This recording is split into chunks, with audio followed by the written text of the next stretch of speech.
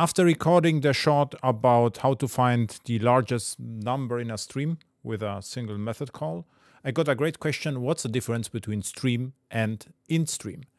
So uh, I used stream, which uh, can be a stream of anything. So Java object, record instances, primitive types.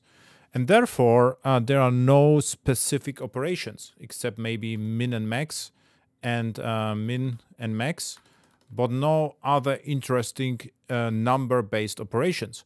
But if I was sw switch to IntStream, two things happen. First, I don't need to pass the integer compare to because uh, it's already assumed that an integer uh, ships with comparable. And there's a slight difference here. So I have to say get as int, for instance, get as int. That's the difference. And let's run it. So I get it back.